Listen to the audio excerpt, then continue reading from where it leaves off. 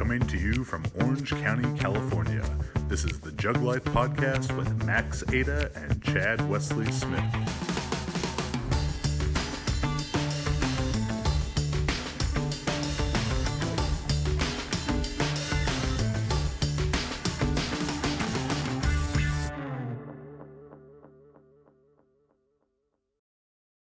Hey everybody, what's up? Uh, Chad here. We're at Marin Heavy Athletics in Marin County, California. Uh, we're up in the Bay Area for Team Juggernaut training camp uh, with our weightlifters. So we came out today to visit uh, Jasha Faye, the owner and head coach here at Marin Heavy Athletics. He, uh, he and Max used to lift together back in the day. He was a very high level lifter, particularly junior, junior American record holder, um, and has served as a USAW board member for the last four years. So we're excited to talk to him about his experiences in the sport and where he sees, sees things going in the future.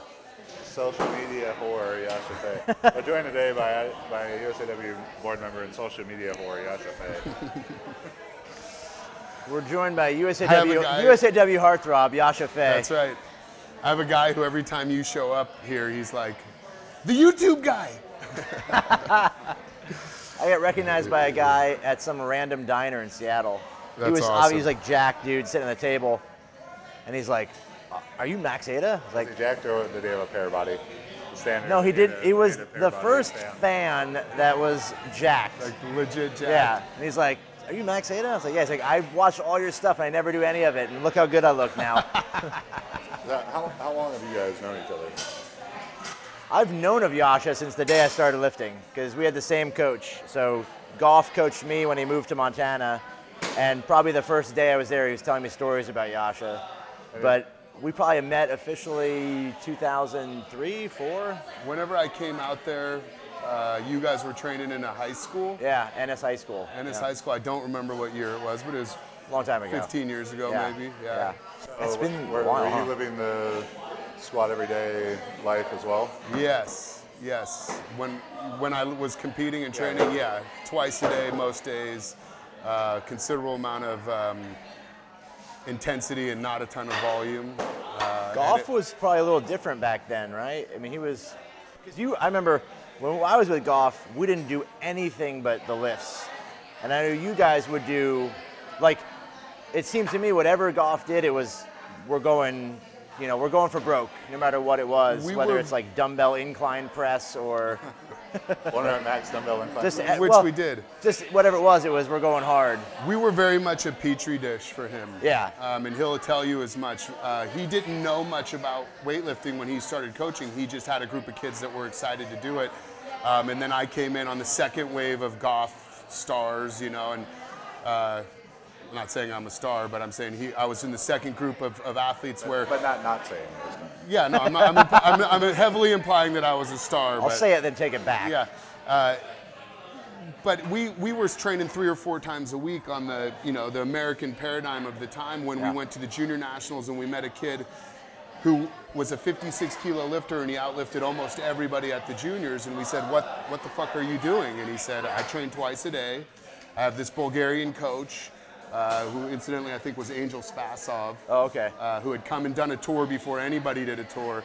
Um, and so we said, fuck it, let's try it. And we came to Steve and we said, we'll, uh, we want to lift in the mornings. And he, th- he said, what, before, you want to train more twice a day? And he, okay, if you, if you kids are willing to do it, I'm willing to do it with you. And it kind of took off from there. So the, the learning curve was together, you know, and, and he kept telling us to do something and we kept going, okay. You know, like if you smash your head against this wall really hard, you, you know the you know the Oh, yeah, routine. yeah. Uh, Eventually, so- the wall will break. Yeah, and you will not lift any more weight than you did before. No, but really, everything he said, every, we, we tried, and everything he said was Yeah. was bond. We weren't. A real drawback today to the internet sensation is we weren't. We didn't get our anything muddied up by what we saw other Yeah. people doing. We had to take what he was telling us at Bond, and like I said, we'd go to other meets and talk to other athletes, and we'd take what we could. But Yeah. we were very much a petri dish in everything we tried.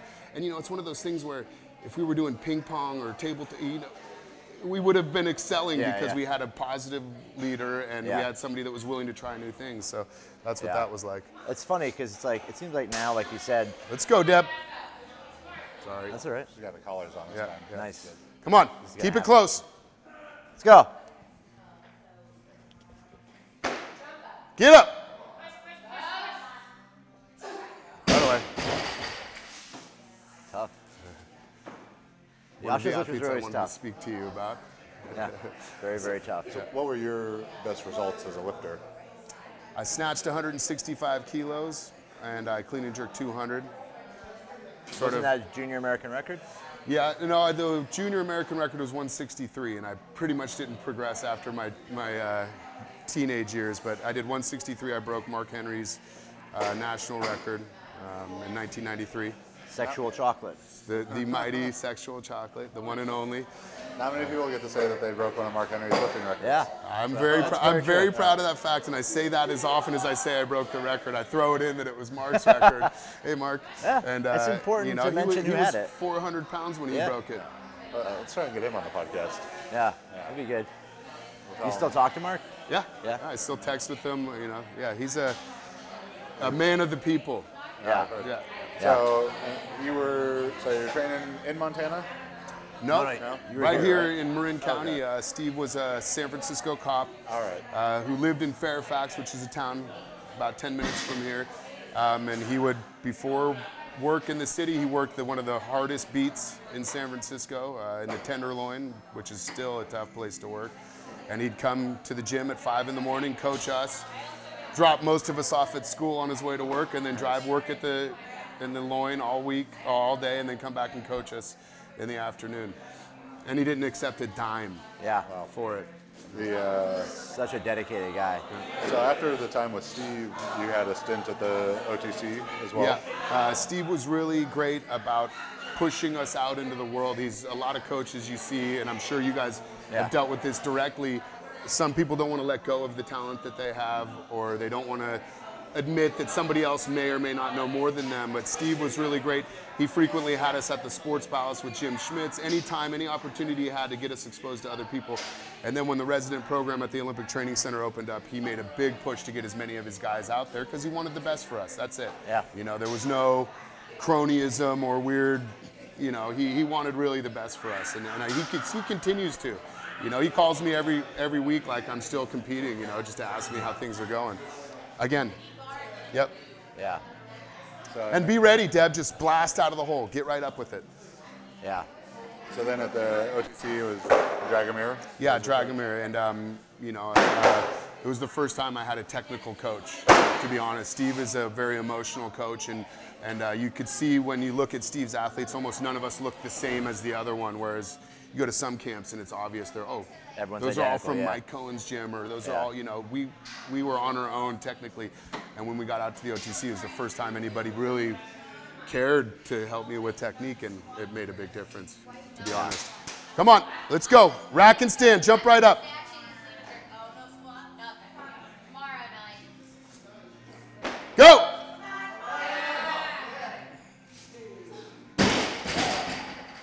Not uncommon to have homeless people Oh yeah. hanging out right here.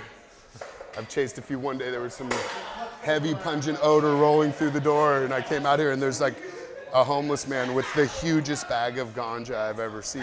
Like, you don't, you can't afford rent, but you can afford this like bag of California's finest. That's awesome. Yeah. So as, as you shifted to the OTC and started training with Dragomir, and the, the program was much different. Besides actually having technique, completely different. Um, we went from you know what what you would call a like Bulgarian Greek Goff program to a, a very Russian Romanian kind of way more volume. Um, a lot of assistance exercises, which I did almost none of at the time. You know, uh, uh, so it was a big change, and I, you know, I see value in, in, in both of those. But yeah, we had a big. Uh, it was a big shift for me.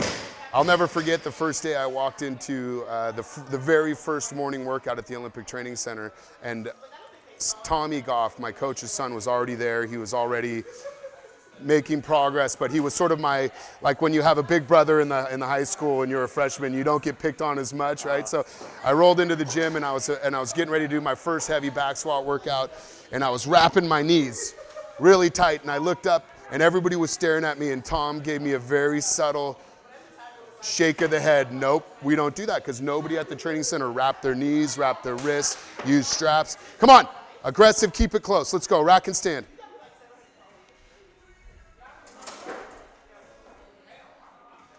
Go! Ah.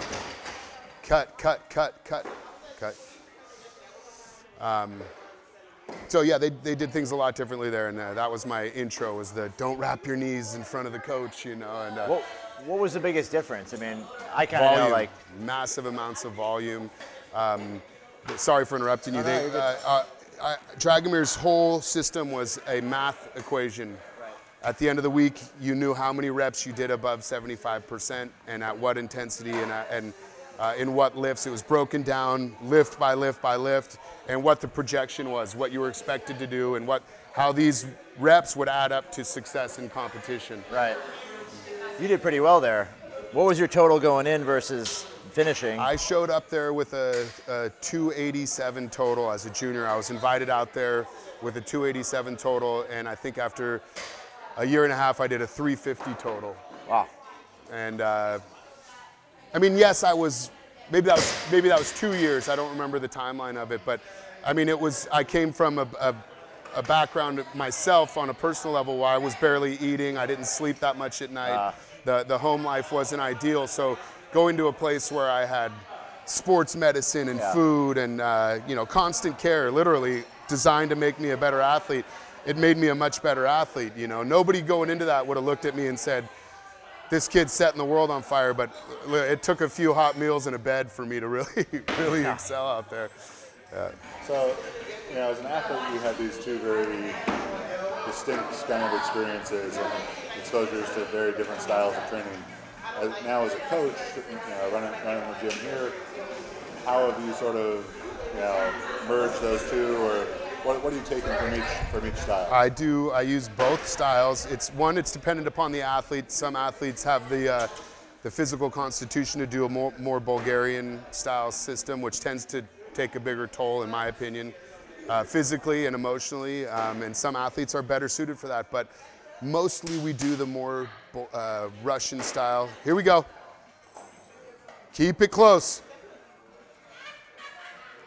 Go, go, go. All right. All right. Back down.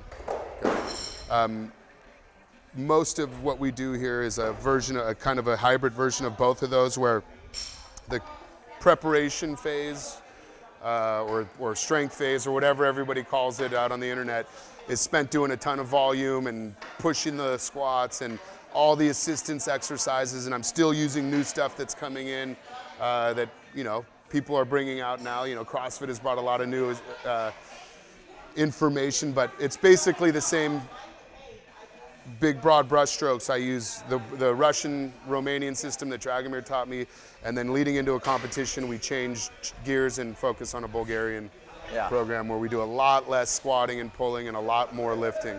Yeah. I think that that's, that's kind of where a lot of people lose sight of what the Bulgarian system is. Is like it's just peaking. It's Yeah. the end. It's the end part of the training, and for those guys, it was the end part of the training because they everything had been built for years towards this. Yeah. And uh, like it, it's a peaking program. I- for I- that, it's great. I agree, and I think that a, a big misconception about the Bulgarian program and what you, what you to, to your point, is that everybody assumes that what they see when they see the videos and they, the footage and the training manuals is that that's how they've been training their whole life.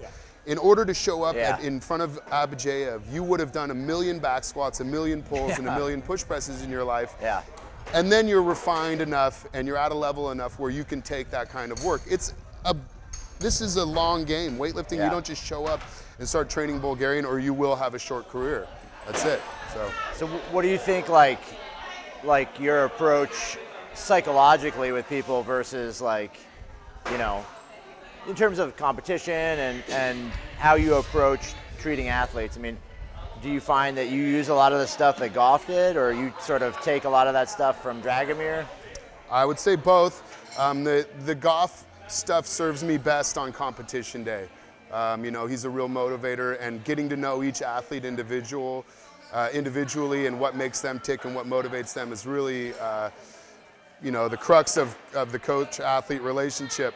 Day to day in here, um, my my paradigm has changed. I don't coach like either of my coaches did because every athlete that was in front of Steve Goff or in front of Dragomir was there willfully because they wanted to be part of uh, a And bigger, you've a bigger your thing. athletes in here. Yeah, this is a hostage situation. no, but what I mean is, is like this is uh, not everybody in here is trying to make the Olympic team. Yeah. Not everybody in here wants to even compete in weightlifting. So I don't coach them like that. I coach them. Uh, many of them co- use weightlifting for health and well-being or general strength. The, Right. the, the percentage of lifters that are as obsessed as I was is, is small. And both of you guys know that it's not for health or well-being. No. It's for Yeah. you. Yeah, yeah. Yes, uh, very much so. there is there is two different kinds of weightlifters in America, and that's the ones that do it for fun and community and Yeah. fitness and health. Which, believe me, you can get a great workout doing clean and jerks and snatches and squats sure, yeah. as much as you can on a bike or a treadmill. And then there's the ones that can't sleep at night because they think about their numbers and Yeah. the, the food that they're going to eat and the amount of sleep and the care that they're going to get because everything literally revolve, revolves around extra kilos. And you and I live that life, and that's not how the bulk of my clientele in here Yeah, yeah. trains. You know, so I don't I don't yell at people. There was some physical abuse in my youth. I remember. Uh, our coach. Um, Many of my coaches, it was a different time. It was there was no cameras around, and it was a lot less litigious. So Did you just say hashtag sport before? yeah, yeah. so things were different. Um, so yeah, I mean, I, I definitely. Take that and as then, you and then the other, the other big major difference is that weightlifting is a women's sport in America right Yeah. now. It's it's mostly women lifting. Look in this room right now. It's mostly women here. There's a few men, and, and and they're you know just as motivated. But you coach women differently than you coach men. Um, How it's- so? There's a lot le- you know women come in here and it seems like they know what they want to do and they're here for the reasons Yeah. that they say they're here for a lot of the men have some kind of They're here for the women. yeah for the women or there's some ego trapped in what they're doing or uh, you, they, they're not lifting weights for the it's a lot easier to coach women without shaming them or like bullying them into, into trying an- a heavier attempt or pitting them against each other which is what Right. tends to happen a lot more with the men that i coach Right, yeah. uh, Yeah, and in addition to your role as, as you know, coach or athlete coach, now for the last what three, four years, you've been on the, the board member at USAW, yep about four years i think and in that four years, I mean, of, of all four-year periods in the history of USAW, the last four years has probably been the biggest change. The most profound changes have come and the most positive and, and successful changes have come in, in, you know, mostly because of my involvement in the board. No, uh, you know, I'm definitely a part of that, but uh, we have a great leader right now. Um, the, the office at the Olympic, uh, it's not the Olympic Training Center anymore, but out in Colorado Springs is, is uh, better, better and more effective than it's ever been. Um, I'm really quite proud of the changes that we've made. Uh, so yeah, the last four years have been pretty productive. The first year, I'd say, was spent kind of treading water, kind of undo a lot of the damage that had done been done by previous administrations. Not to say that they hadn't done wonderful jobs, but uh, the, the, not to say that they had been. well, also the, the scope and spectrum of weightlifting has changed so much in that, that decade where they were still working on the past. They were working on the things that were normal for weightlifting before Yeah. CrossFit and before the internet, which has changed things drastically. Here we go. Let's go.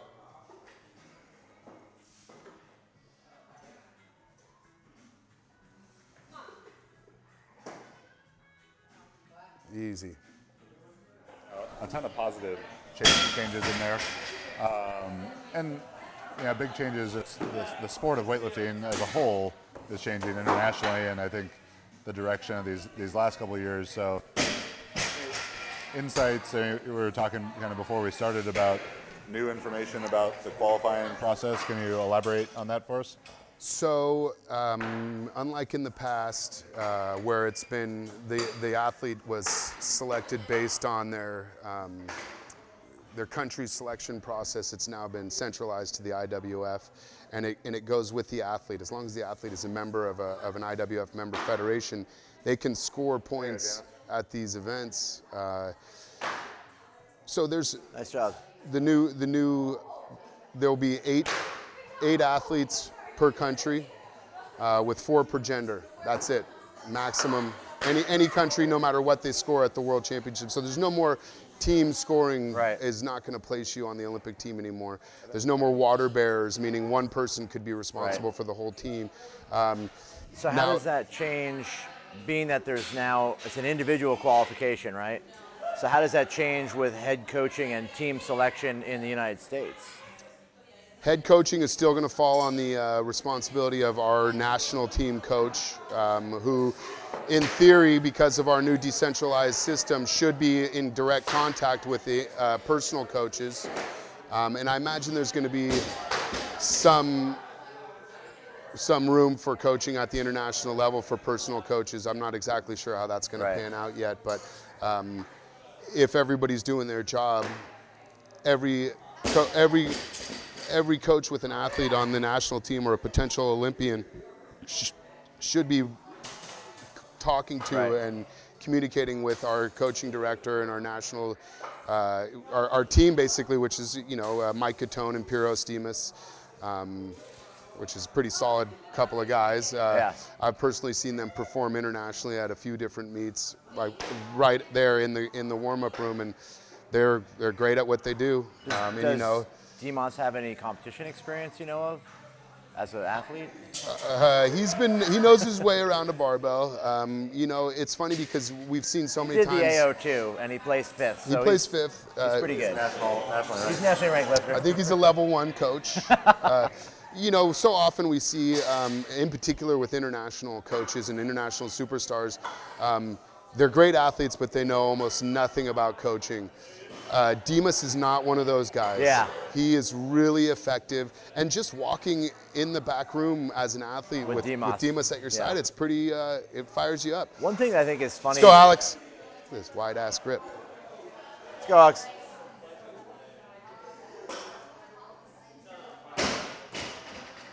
Easy.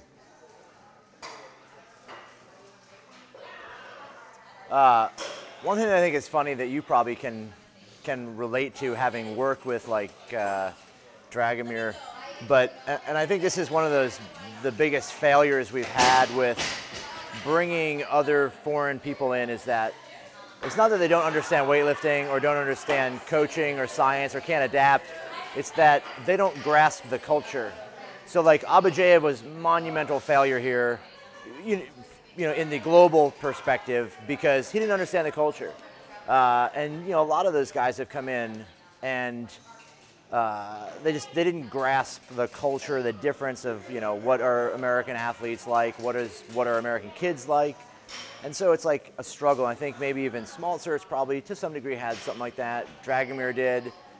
Th- They adapt, they change as time goes on, but Dimas is the first guy I've seen come in that seems like he really understood it all before he got here. Like his kids go to school here, like he he gets it. So I think that probably contributes a lot to his ability to communicate. You know, like I agree, um, and he he definitely came in and had a really easy segue. He's about Yeah. our age too. He's a younger guy, Yeah. so he, a lot of uh, the subtleties of our culture weren't wasted on him. Yeah. But um, we definitely ran into a lot of trouble with that. Um, you know, I think you were there. Uh, yeah, good work. That first time we, we flew Dimas out and we Yeah, I remember, accidentally yeah. ended up at dinner with him one night. I, that was a memorable dinner. It was an amazing Goff dinner Was 'cause there Goff too. Was he was wearing his there, Max's yeah. gym shirt? Uh, we gave him a Max's Gym shirt there, but I believe, I believe our former coach at some point called him fat. Oh yeah. Go- Goff said, "What's going on? You put on a few kilos, so you know." Uh, the next day, wasn't he? Dimas in the gym. he was working? out the next day. Goff got in Dimas's head. um, he channeled Yakubu, but uh, but I'll never forget what he said to us that night. Um, Goff said something, or one of you guys asked him a question about, well, what about those athletes in America that have to work a full-time job and and and still come in and train? And he very matter-of-factly looked at us and said, well, they can expect to not be that good. Yeah.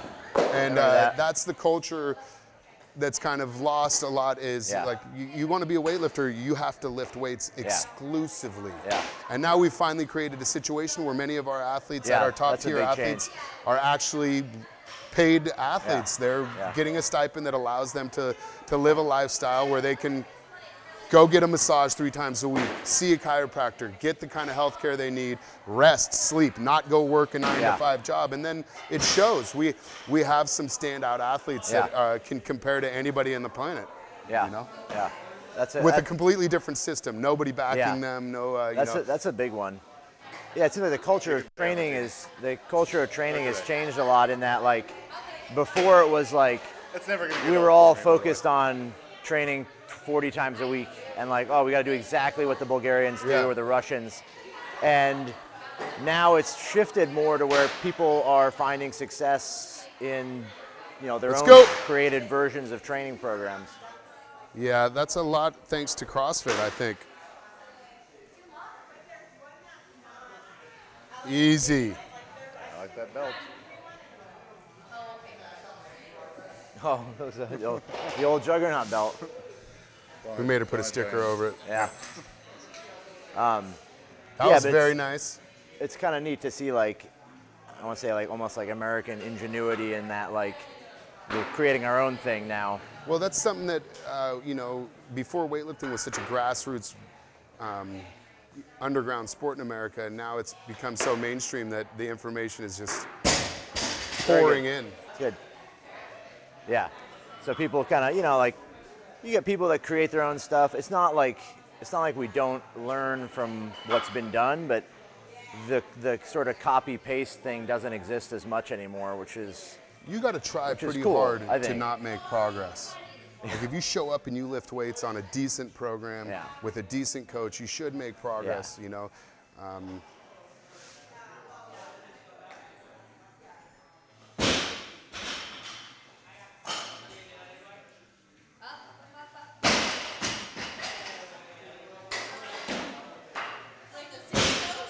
bit, yeah. Shoot. Leave it there. Do you still train? Yeah. But get your body getting better? right now? No, no, no, no, no. no, no, no, no. no. Gun to head, like your life, your children's life depended on it, I could probably snatch 90 to 100 kilos. and then like be in the like Grave. ER, yeah. PR, ER. PR then ER.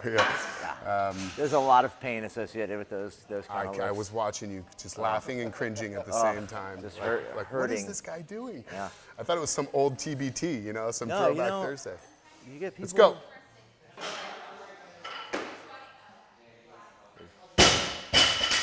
Good.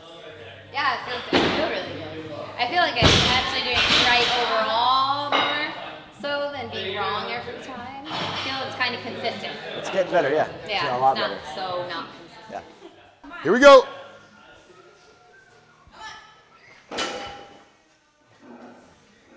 You know, one kilo more. Come on, get tough now. Go, Alex. Go! So,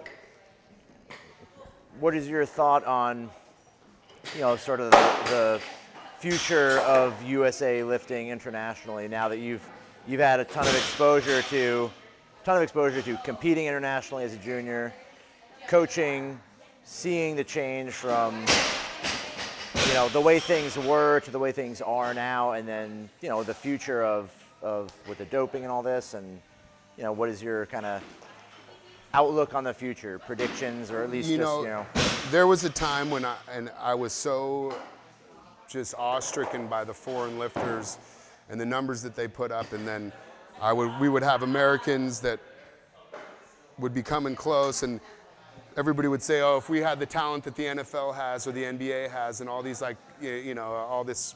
Um, anecdotal stuff about athleticism, and then all of a sudden we're in a place where we actually are excelling. We have people on the podium at world events, people beating historically dirty countries, um, and we're getting weightlifting has become mainstream enough that we are getting some top Yeah. level athletes. You know. Uh, uh, so the, the future looks bright for American weightlifting right now. Um, like I said, the women's weightlifting in America is exploding. It's it's bigger than ever, and it seems to be growing. And the records keep getting broken. Um, records keep getting broken uh, on the men's side, and then we have world record holders now, like Yeah. legit world record holders, beating Chinese and, and Russian and, and Kazakh lifters. Uh, you know, in one in the most rigorous testing environment there is. The USA leads the world Yeah. in, uh, in testing. So um, the future looks great right now. Uh, uh, we have great leadership uh, at, uh, with Phil Andrews and Mike Gattone and, and the crew out there in Colorado. Um, I think big things are coming. We keep getting people in the top five, top 10. Our women's program is on fire. See, there's a good one right there. That looks good. Very cool. Yeah. Jasha, where can they people follow you on social media? Marin Heavy Athletics uh, is my Instagram and Twitter and uh, Facebook handle. Um, my personal page, Jasha Faye, Strong Like Bull 73. But uh, yeah, Marin Heavy Athletics, that's the name of my gym, it's the name of my program. Cool, man. Thank you very Yeah. much. Thanks, yeah, of course. Thanks for Always coming out, you guys. This is Yeah. fun. I was gonna say, Feel you know, free. Feel here- free to tell us some stories. the mics on. culturally, uh, the big cultural change. I got a great story when Dragomir first came I to the love this Olympic Training Center. Um, he said, "Okay, gen- gentlemen, today we will sauna," and uh, we all piled into the sauna. And Dragomir rolled in about five minutes later, and he was completely nude. And This he, is the hashtag safe sport. yeah, and he quietly looked around the room, saw that every one of us had a pair of shorts on, and backed out of the sauna quietly and came back with a towel a minute later. after, just culturally a little different. All right, so that was our episode with Jasha Faye. Thank you very much to him hosting us here at his gym, Marin Heavy Athletics, uh, in Marin County, California, just north of San Francisco. And uh, make sure you go follow him on social media and, and on his spots. Uh, as always, if you're interested in online coaching, visit juggernautcoaching.com. We have powerlifting, weightlifting, strongman, super total, and power building. Uh, check that stuff out. And if you enjoy the JuggLife podcast, go on iTunes, leave us a five star review. We always appreciate that, and it helps more people find us. And uh, subscribe to YouTube, all that good stuff. Thanks for watching or listening, and we'll see you next week.